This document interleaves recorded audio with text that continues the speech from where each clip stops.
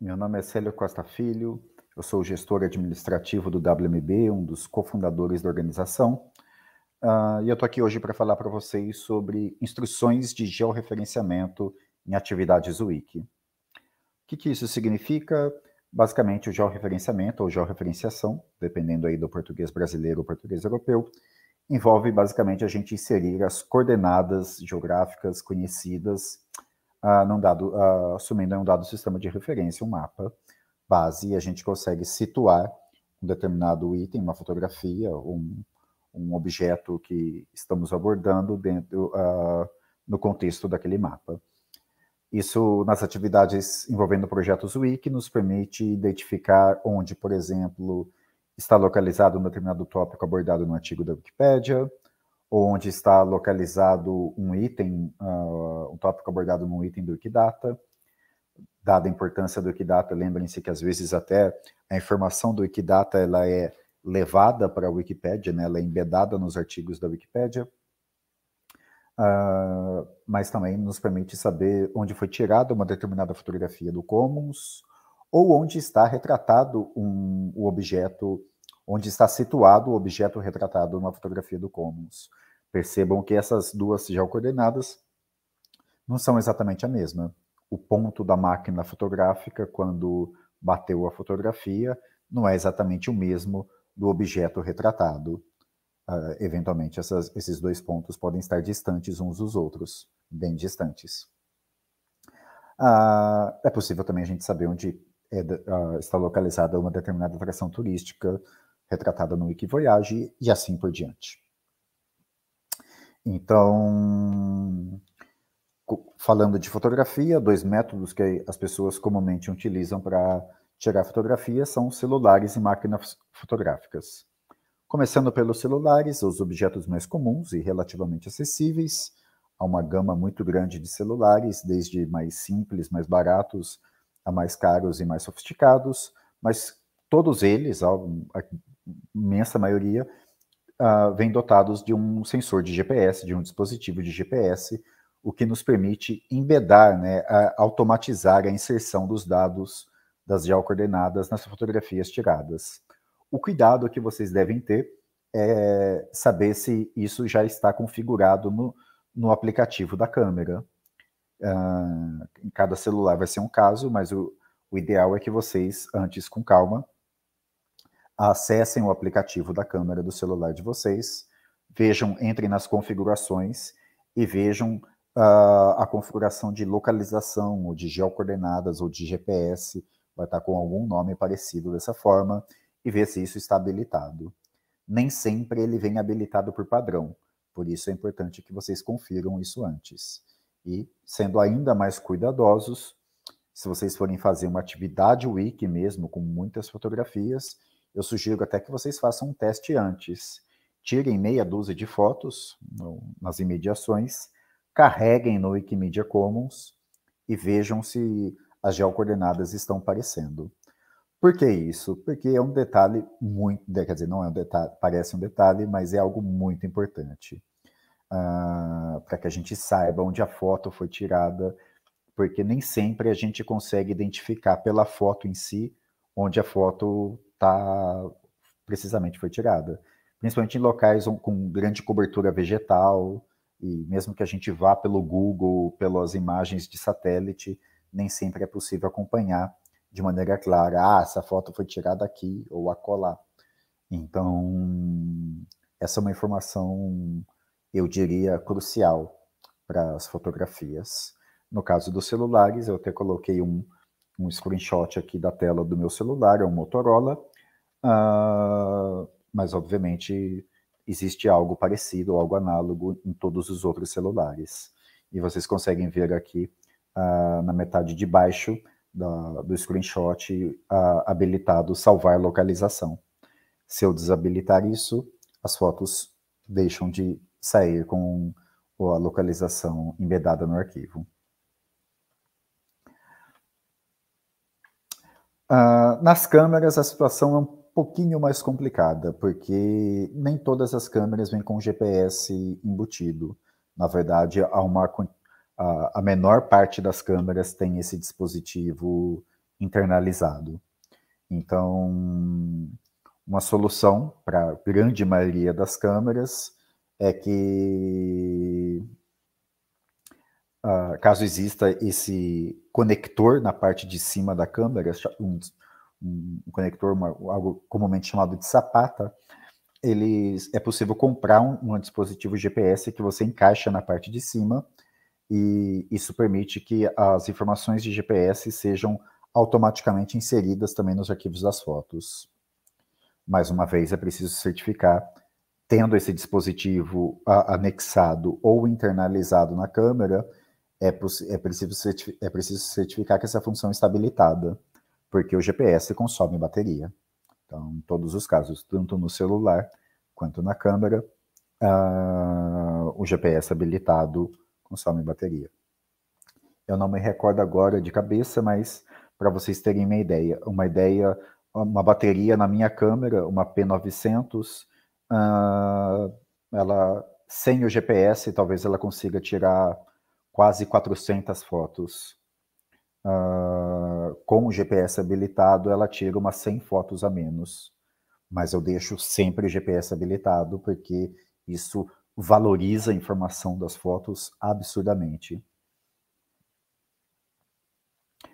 Hum, e aqui eu tô, trago um exemplo para vocês de como isso aparece, por exemplo, no Wikimedia Commons, né?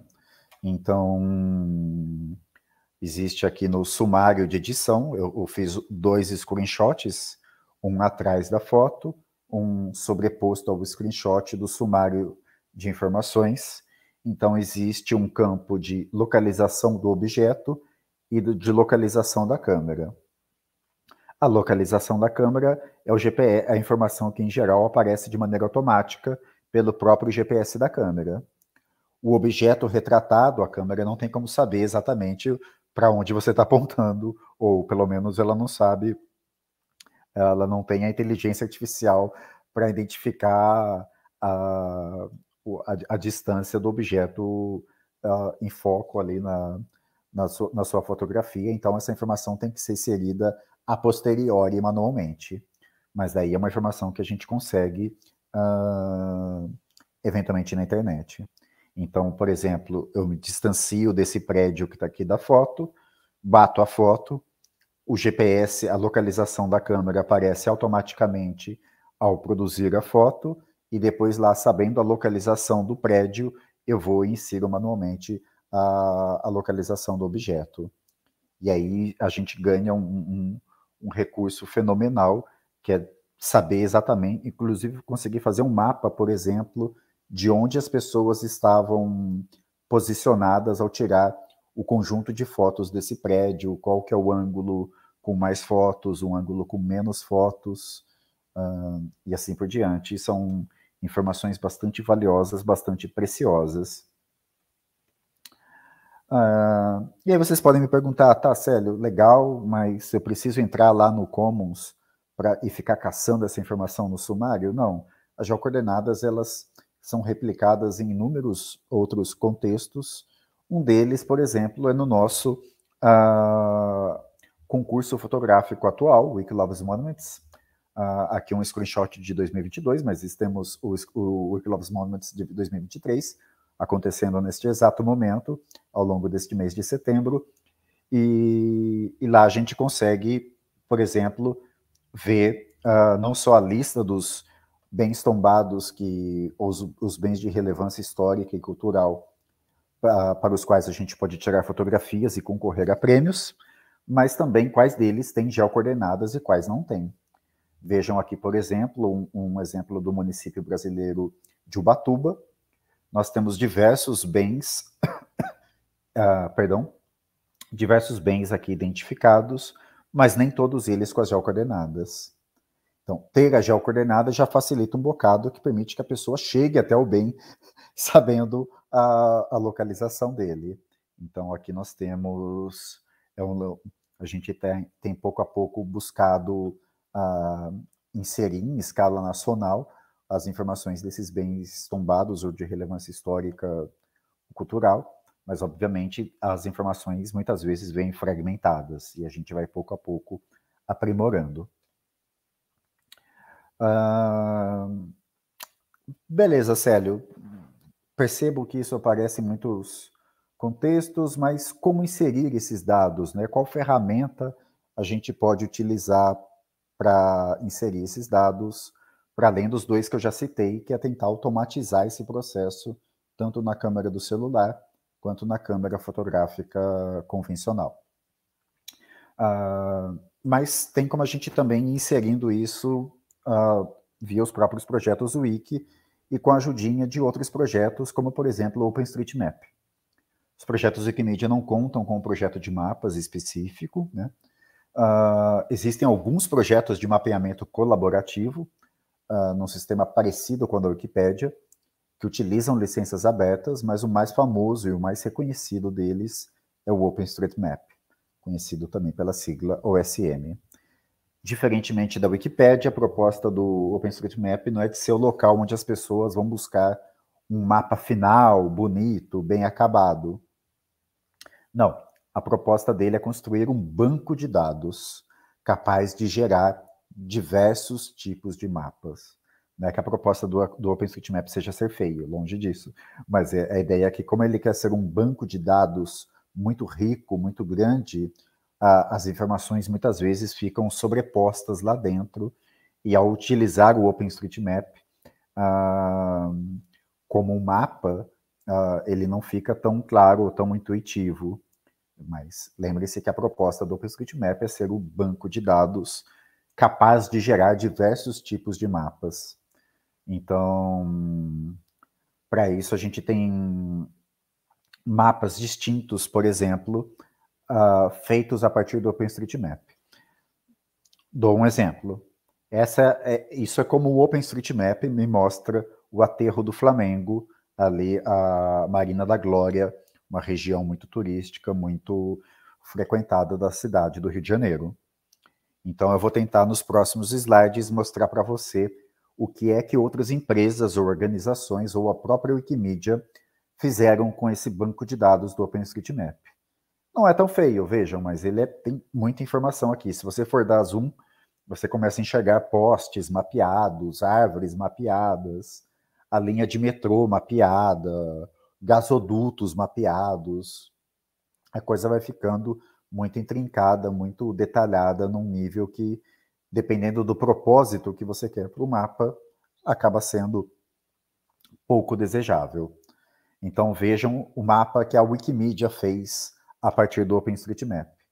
Ela foi lá no banco de dados do OpenStreetMap, puxou todas as informações e escolheu quais informações ela queria mostrar, com qual cor, com qual nível de detalhamento.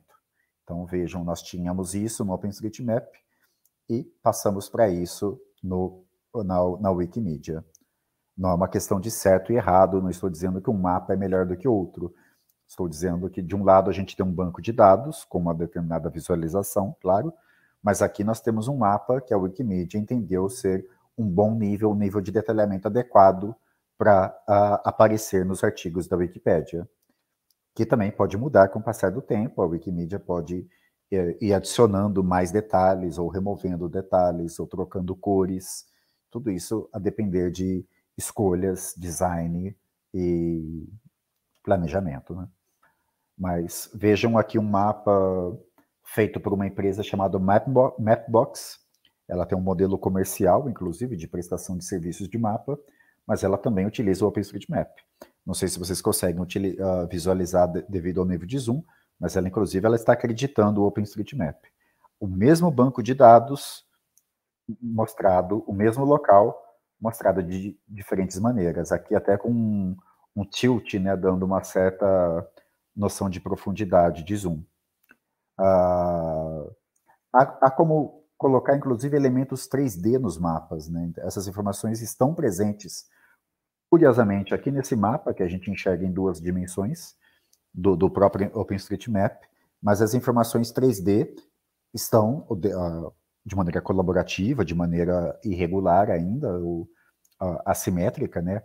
A depender do, da colaboração dos, do, dos mapeadores, mas essas, as pessoas vão inserindo pouco a pouco as informações 3D, e elas podem aparecer em outras visualizações. Aqui uma outra visualização do mesmo local, também feita pelo Mapbox, uh, com um, um, estilo mais futurista, né, baseado naquele filme Tron, bem interessante, bem curiosa, útil também, mas com um design com um apelo visual distinto com outras aplicações. Aqui uma outra visualização, mais uh, o que eles costumam chamar de modo escuro, né, o dark mode, uh, mais sóbrio, com menos detalhes. Aqui uma visualização 3D bem interessante, bem bonita, apenas com dados do OpenStreetMap também. Nada foi inserido adicionalmente. Isso é bem curioso. Estamos falando do mesmo banco de dados, aqui com uma visualização 3D, e uh, feita por uma empresa francesa chamada F4, e que também tem um modelo de prestação de serviços. Uh, as licenças são abertas dessas imagens aqui, mas o acesso a determinados serviços eventualmente é pago. Lembre-se que as licenças abertas permitem isso, uh, basicamente como a Amazon, Google e Apple utilizam conteúdos da Wikipédia nos seus assistentes virtuais, que são produtos, obviamente, não gratuitos. Uh, e aqui, por fim, também não quero me estender demais nisso, mas só para vocês terem uma dimensão, uma outra visualização 3D apenas com dados do OpenStreetMap. Bem legal, bem interessante, da mesma localização, o aterro do Flamengo, uh, essa feita também por, por comunidade de software livre também. Então, pessoas engajadas não é exatamente uma empresa, mas desenvolvedores tentando gerar modelos de visualização 3D a partir dos mapas do OpenStreetMap. Eu particularmente sonho com o dia que a Fundação Wikimedia também tenha isso um pouco mais uh, numa pauta um pouco mais privilegiada e nos forneça dentro dos próprios projetos visualizações como essas. Uh, só para vocês terem uma ideia também, antes da gente falar de como inserir as informações, essa questão dos mapas é uma questão tão relevante, tão importante, uh, uh, não só em termos de conhecimento, mas em termos de mercado, que Meta, a empresa dona do Facebook, a Amazon e a Microsoft, por exemplo, se uniram para criar, um rival uh, para o Google Maps, que é o, o grande produto no, no mercado hoje de, em, em termos de mapa. Essa é uma notícia de 28 de julho de 2023, portanto, uma notícia bastante recente, temos aí pouco mais de um mês, considerando o dia de, da gravação desse vídeo. Uh, e elas criaram uma, um, uma proposta de um banco de dados em licença aberta e partiram do OpenStreetMap, que é, tal, como eu disse, a principal referência aberta para mapas.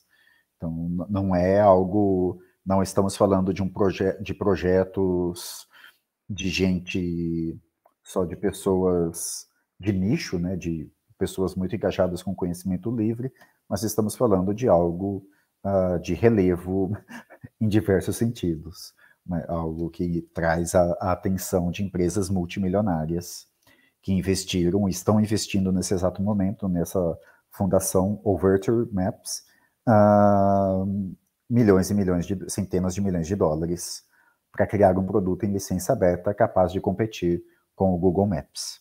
Já temos, o OpenStreetMap já compete em diversos uh, contextos, mas não em todos. Em muitos casos, o, o Google tem se vale de uma infraestrutura que o, o conhecimento livre não, não, tem, não é capaz de competir neste momento. Mas vamos lá. Como adicionar informação?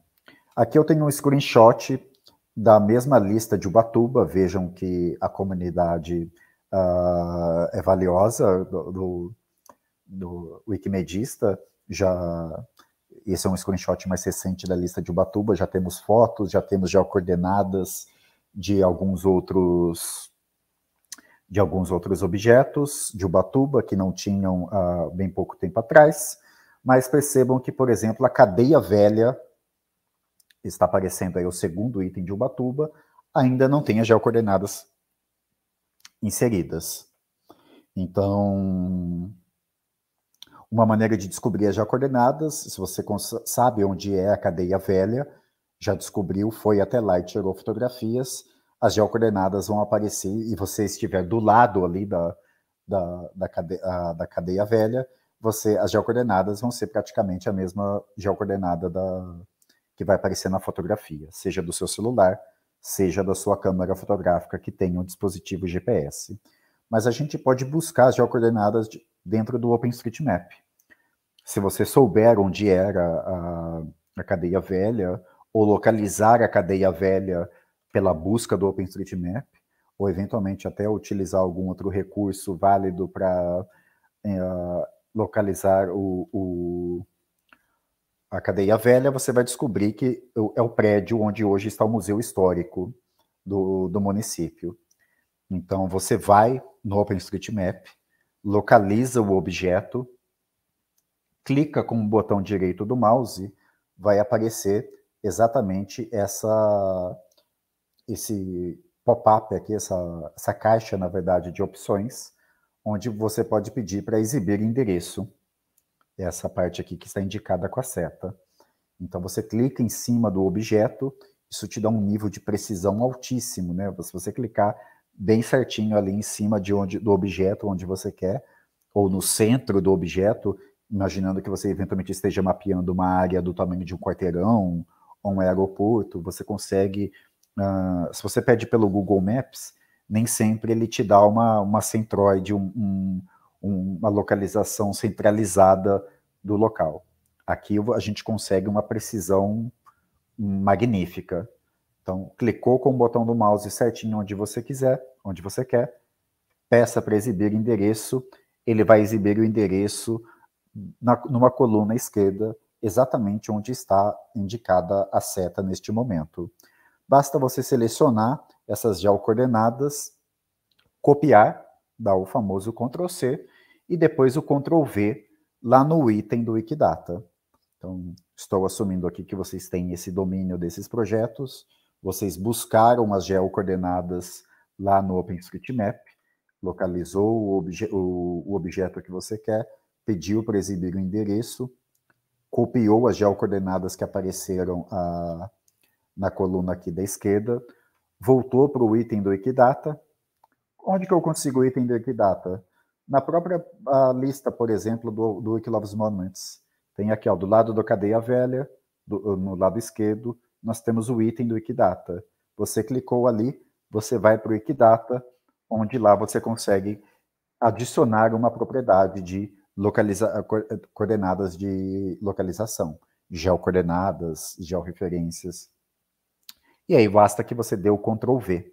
Deu o Ctrl V, copiou ali a, a, as geocoordenadas que você acabou de copiar do OpenStreetMap, apertou em publicar, voilá, você acabou de fazer um bem para o conhecimento mundial e permitiu que uh, as pessoas do mundo inteiro agora saibam corretamente onde está localizado este objeto. É bastante curioso porque frequentemente a gente insere a partir de dados vindos do, do IFAM ou de organizações que lidam com, com patrimônio tombado e as georreferências não estão bem feitas. Isso é relativamente comum. E aí o, o, dado que vem com a referência ele tem uma qualidade pior, e fazendo esse trabalho manual no OpenStreetMap, a gente consegue uma precisão uh, mais apurada. E aí não se trata de eliminar ou substituir um, um dado pelo outro, mas o, Open, o, Wikidata consegue deixar as duas informações. E aí você indica, por exemplo, qual que é a mais desejável, qual a menos desejável, mas a gente mantém o lastro, o registro, a história de que, olha, em determinado momento o IFAM disse que esse monumento ficava aqui.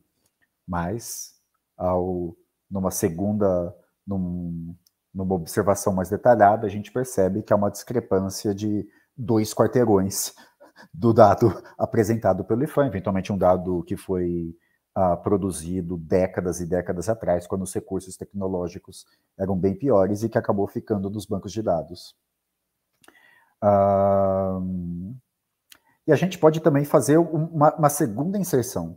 A gente pode ir até o OpenStreetMap, caso vocês uh, não é difícil ir até o OpenStreetMap, criar uma conta, uh, encontrar o, o, objeto que vocês foram lá, uh, já viram, né, o, o, de onde vocês pegaram as geocoordenadas, mas vocês podem criar uma conta, pedir para editar, seleciona um objeto, exatamente como eu fiz aqui, eu selecionei a, a cadeia velha e adicionei uma tag de Wikidata. Só que em vez de, co de colar as geocoordenadas, eu colei o número do item no Wikidata, que é sempre o que alguma coisa em uma sequência numérica gigante. Dá o Ctrl C, Ctrl V uh, e salva, como se você estivesse editando um artigo da Wikipédia, isso é bem legal porque em muitos casos no, dos projetos Wikimedia, ele sabendo, tendo essa informação também no OpenStreetMap, ele dá um highlight, ele dá um destaque, ele dá um, ele destaca do mapa o item e fica bonitinho, fica algo que nem o Google consegue fazer. Isso, eu, isso é algo que nós estamos à frente do Google. O Google ele te coloca um, marcador em cima do local, mas ele não destaca nem o prédio, nem a área do prédio quando você está buscando aquilo no Google Maps ou, num, ou mesmo no Waze. Eu nunca vi fazer do modo como isso é feito, uh, por exemplo, no Commons. Isso é algo, e a gente acaba tendo um entendimento melhor, por exemplo, do que é o aterro do Flamengo, que é uma área muito extensa, mas o Google não consegue te mostrar exatamente os limites, eventualmente, de uma área dessa, de, desse porte. Ele te mostra a localização correta do aterro, mas ele, ele gera uma, um ponto médio central. E no caso aqui, a gente consegue delimitar precisamente limites de bairros ou de áreas. O Google nem sempre consegue fazer isso, e quando tenta fazer, muitas vezes acaba falhando miseravelmente. E, bom, é isso, pessoal. É um tema rico, um pouquinho complexo, sofisticado, mas eu dei o caminho das pedras para vocês aqui. Espero que vocês consigam, se não de imediato, inserir a, a essas georreferências, tal como apresentei para vocês, mas que vocês pelo menos saibam uma direção. Nós estamos aqui para tirar dúvidas, para compartilhar uh, aprendizados e sintam-se à vontade para que a gente possa especificar ou dar mais detalhes de algo que não tenha ficado claro. Até a próxima, nos vemos. Tchau, tchau.